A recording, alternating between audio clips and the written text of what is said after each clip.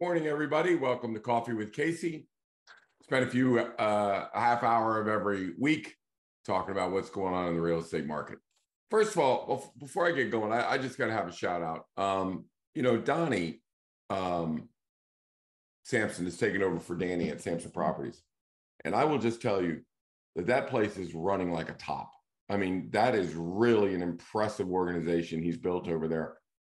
The Cardinal Title Group as good as they can get. I mean, he put things in there for the agents and sellers that you just can't beat. Uh, First Heritage, awesome. But I will tell you that I had the experience this week of talking to all the agents at Samson at the at the office meeting. So I I worked with one of the marketing people, phenomenal, just phenomenal. Everyone you meet over there is uh, is really really top notch, and I think Donnie has uh, shown some leadership with Sarah and and just assembled the team. So if you're an agent, I know there are some agents out here that listen to this this show. You might want to give Donnie a call because I'm telling you that's a pretty tight organization he's got over there right now. I have nothing that you know, not my deal. I just I just run the Casey Samson team. You know, I get focused on what's going on. But um, but I will say, really proud of Donnie, uh, his whole staff. Everybody's doing a great job. You want to look into that. All right, let's talk about you know what we want to do today, and that is you want to protect your friends, family, and and even your neighbors. Okay. And, and the reason for that is you want to protect your friends and family uh, for love. You want to protect your um, business associates for uh, friends. You want to protect your neighbors because if they screw up, your house goes down in value, right? So if, an, if a neighbor puts his house on for 1.5 million and it's worth 1.5, but he might be able to get 157, that's good for you.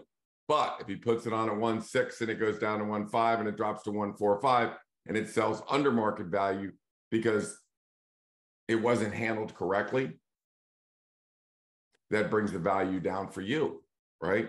So you want to make sure that if you've had experience with us, you know the team, you know the track record, if you listen to this show, you want them to make sure they get top dollar for their house in the quickest amount of time. That benefits you. As far as your family is concerned, who wants a mother and a father to suffer when they're you know trying to sell something in dallas texas or in in houston or in new york? D- don't have that happen. We you know we're lucky enough lucky enough to be the number one team in the state of virginia. We're one call to the number one team in any community around the country. This is a network of real trends and wall street journal top producers. And and the reason why i want to put them with a medium team is you know, medium teams uh, are less than 10 people. So they're all top producers. If they're doing $150 million and they've only got 10 people, trust me, everybody on that team is a badass. So the principal's involved in every transaction.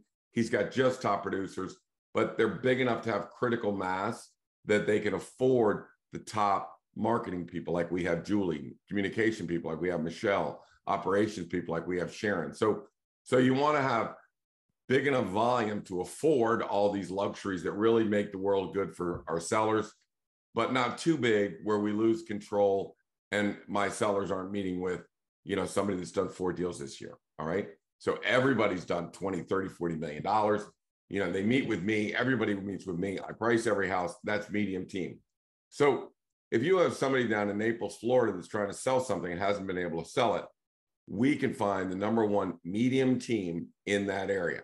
Now, we still get involved in pricing, even if it's in Naples. I'll interview two. I want to know how they arrived at their price, what their thought process was, how they're doing the micro and the macro. And I'm going to get into that in a minute. How they they look at the micro and the macro, what the market conditions are currently. Um, you know, it's funny. I was I went to uh, MLS and I looked at market trends, and this is what a lot of realtors rely on, right? So these are August numbers. These are August numbers on decisions that were made in June and July, right? We need to know what's happening today, not not like like today. Like when I go to a listing appointment, I run the market for today. Because 2 weeks ago, I wouldn't give you two nickels for this market because in Vienna, for every 20 homes listed, only one went under contract, right? Well, now it's it's up to 22% right? So now we've got a couple. That's a what I would call a rally. So in the last week and a half, we've started to rally. Okay. which gives me a little more confidence when we're pricing and putting houses on the market. But this is the kind of, of thought process we want to go with before we turn your parents or your kids or somebody else over to an agent that's working in Dallas, Texas, or in Denver, Colorado, or wherever. We can get very micro on that too. So we want to hit just the market that they're the number one uh, medium team on.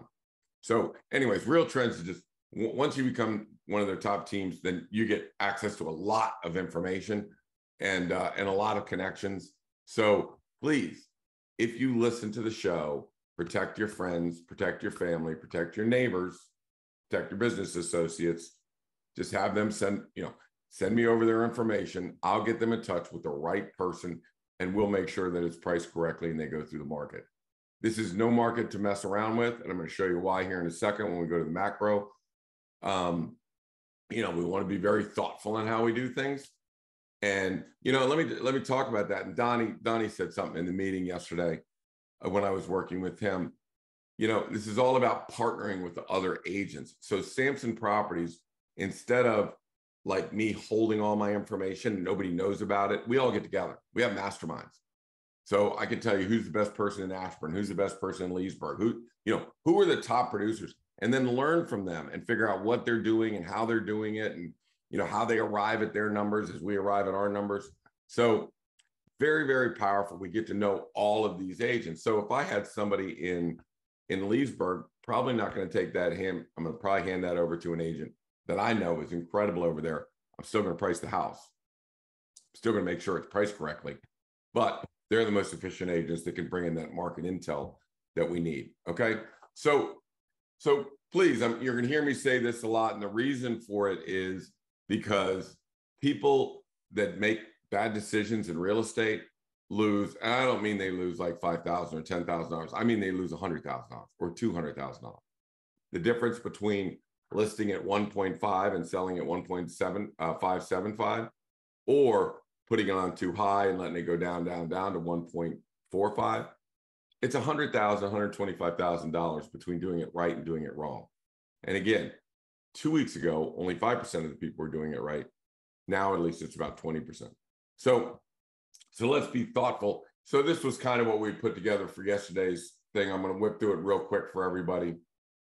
There's three ways that we want to get to the correct price. This is exactly what I'm talking with agents in other areas about. I want to know what their three ways are of doing it. There's the micro, okay? And the micro means what's the current market within one mile of this house, similar price range, similar age, similar size, you know, all the similarities. And, and let me point you to a couple of numbers here. So I'm pricing this house right here. And this just, this is going active today, by the way. So so if we look at it, the homes that sold were at 123% of the assessed value. So that tells me they were selling a pretty strong amount over the assessment, right? 321,000. But look at the under contracts. Remember how I said that you got to be current? You can't you can't think about 3 months ago or 4 months ago. You have to be current. And I don't mean current within 30 days. I mean current within like the last 20 days, 10 days, 7 days. So everybody going under contract is at 110. There's a lot of people that may be active or withdrawn, right? At 115. So it's kind of telling a story when you look at these numbers where we want to be. Now, I'm going to show you this in a second how we how we test it. But this is the micro. This is looking exactly around this neighborhood at this price, comparing square footage, blah, blah, blah, blah, blah. We tested 1.9. It did not test well. We moved it to 185. So look at the difference. See how the actives and everything were at 1.5. We tested that number. It didn't work. We're right about there right now. Right. So that's where it's going to get launched. So when we talk about, you know, a real estate market, oh, are things selling? Are they not selling? No, they're selling. You just have to be very accurate of how you do this. So first we're looking at the micro and we're looking at the neighbors the sphere of influence or the the focus that the, the sellers have, their their world that they can deal with uh, comps is basically restricted to their neighborhood and their neighbors and how much they sold for. So we have to be able to compare to the neighbor. And even though it was done,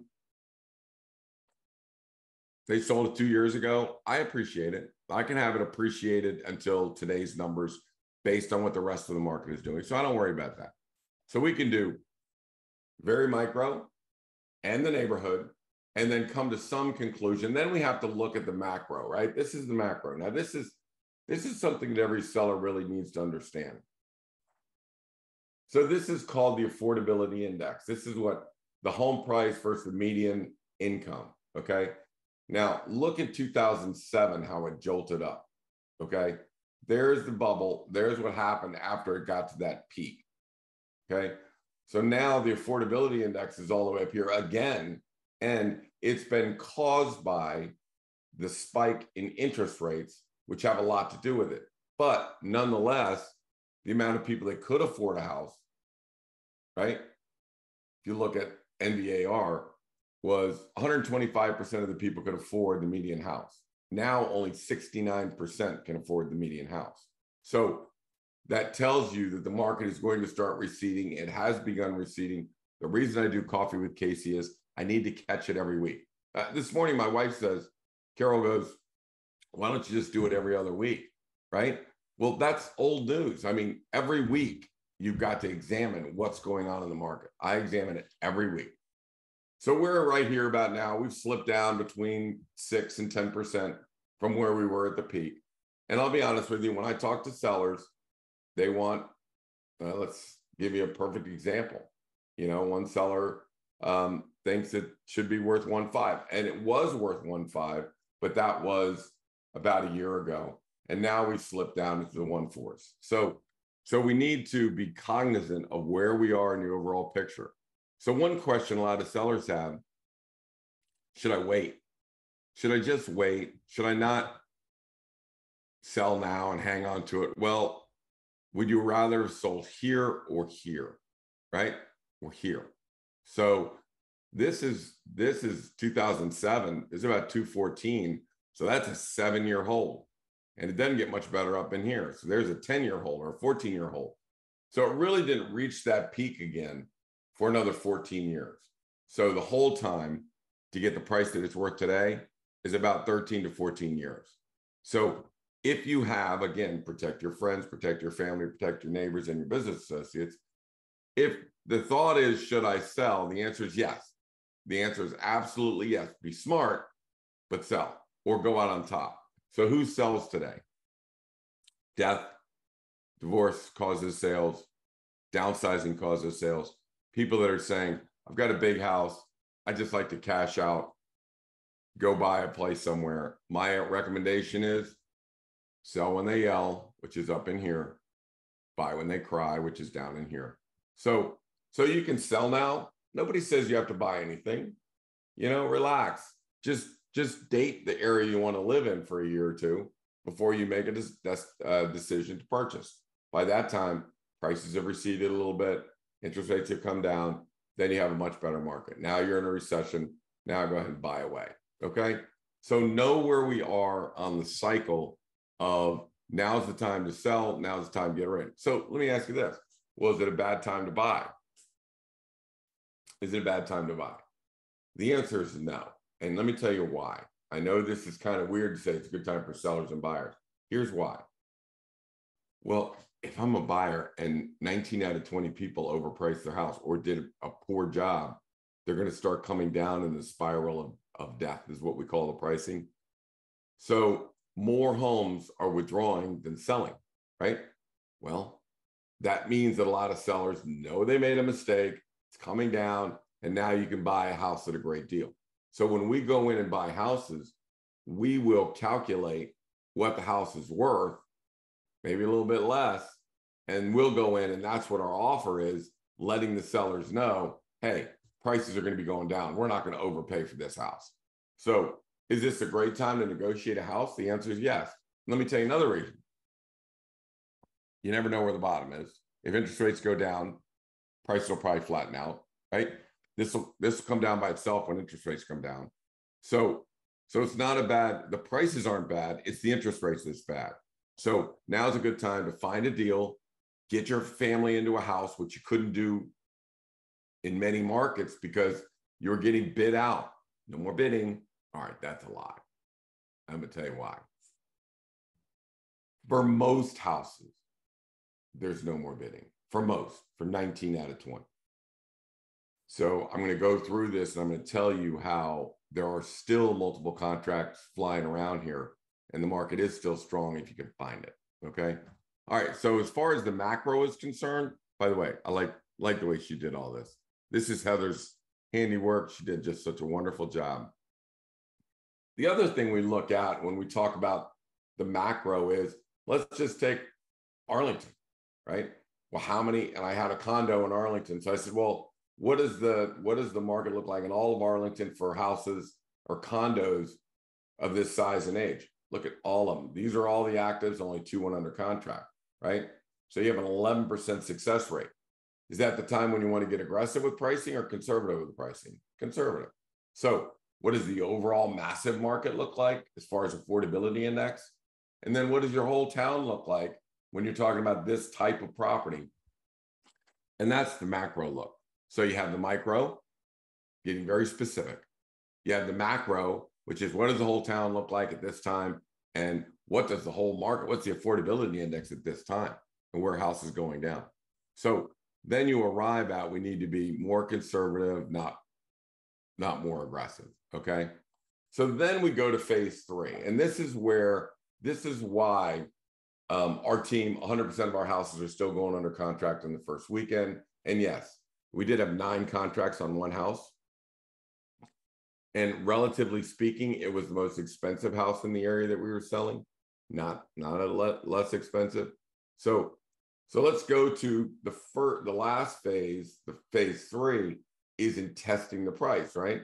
So I can go in here and I hit this hit counter, and that'll tell me how big is my buyer pool, how many people love it, like it, possibilities, all the agents' name, all the agents' numbers. So I can get a read on are we in the right place or are we not in the right place? So if you go back to Ballycore, test it out at 1.9. So we put it on at 1.9. Anybody coming? How big is the buyer pool? 90. One person favoring it. Okay. Drop it to 1.85. Okay. There's the buyer pool. And now we have a lot of people interested. And now showings are beginning. So this is how, and, and Valleycore is launching today. So let's let's talk about it next week. We'll see how that goes next week. But this gives me a great solid indication of are we at the right number to attract the biggest buyer pool because we want we want multiple contracts. So we look at this and this is this is our showing time. So on Wednesday, before I talk to my sellers, and I'm talking to one today at 11 o'clock, I mean, at um, one o'clock, I have to know the showing time. How many people are coming to see your house? with all of this macro, micro, everything we're doing, is anybody coming to see your house? If the answer is no, we got to go down on the price. We got to move before the market tells us to. We got to move. This is the market talking to you. Nobody's coming, then move it down. So, this Freezeland that you look at here, this is in Linden. Anybody ever heard of Linden? I haven't heard of Linden. I didn't know where Linden was, you know? So we went out and you know, one of our sphere of influence clients was out there. Husband had passed away. Again, death, divorce, and, and downsizing. Husband had passed away. So we have to price house out there. Now, 750 to 800 is in the nosebleed section, right? But my models say that this is about a $750,000 property. So we test 800, which is what the seller wanted, or the the the uh, the heirs wanted. So we tested 800. Nobody was there. Nobody was coming. There's no showing. You know, the buyer pool was small at 800,000. We moved to 750. We moved to 750. We got our 30 showings. We had nine contracts and it sold for, and nobody in Linden listens to this broadcast. So I will tell you that it sold for $830,000. So remember, we tested 800, didn't work. Nobody coming. We went to 750 got found the buyer pool. Then everybody got in the house. They loved it. They bid on it, and it went up to 830. It went up to 830, settling all cash in 12 days. So don't even tell me, well, that's Vienna, that's a different market. No, we just did it in Linden. And again, probably if you took away my GPS, I couldn't find Linden again. I mean, it's out there somewhere. It's in the mountains. So So that's the three things that we look at. And when I'm talking to an agent from, I mean, geez, whether it's from Montgomery County, Maryland, or uh, Denver, Colorado, or Wayzata, Wisconsin. Uh, Wayzata is in Minnesota. Those are the cake eaters from Wayzata.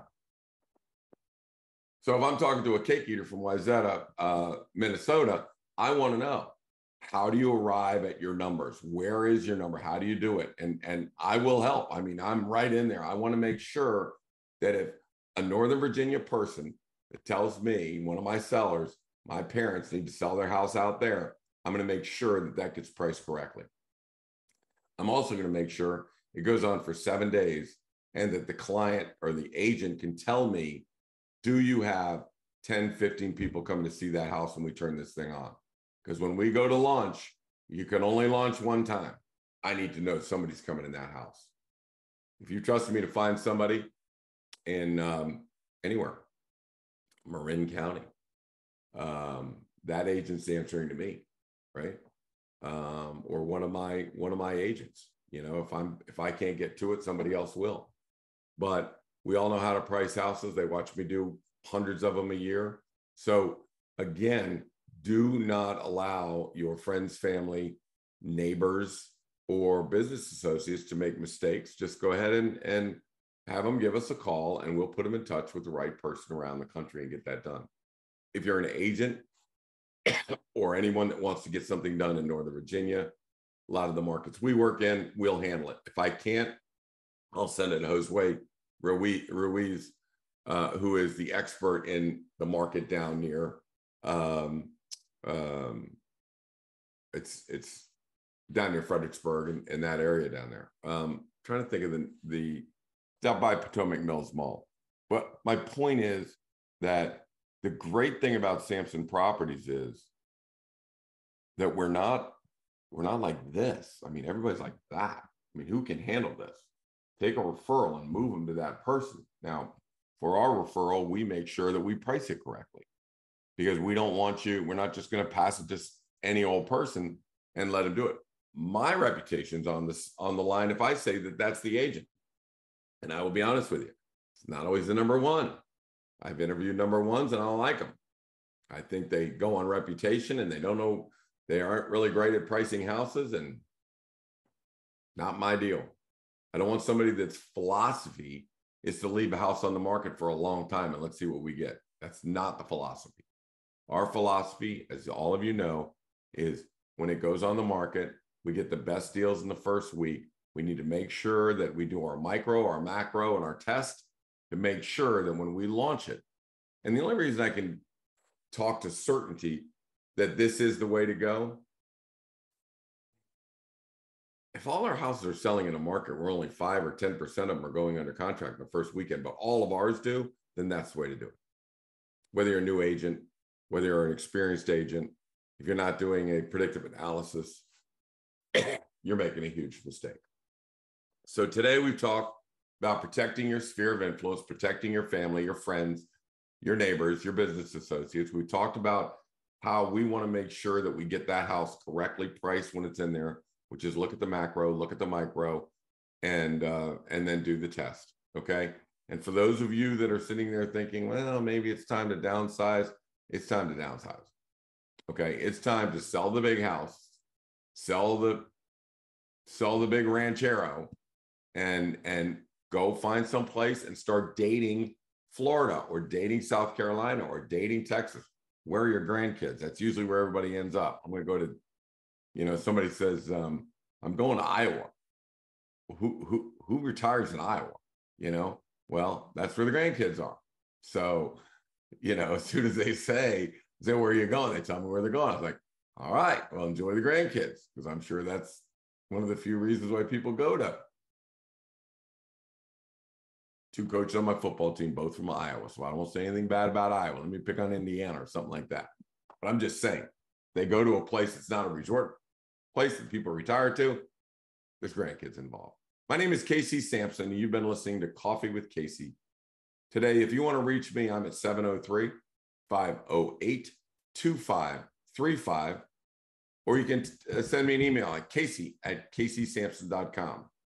thanks for listening. I really, you know, I I really when I go to our Samson meetings, I get a lot of agents talk to me about reciting some of the things we say here, which I really, really appreciate. But really, when it all comes down to it, we're trying to make sure that the Samson clients get taken very well care of. I don't care if it's my deal or your deal. We're trying to make sure that our agents are educated.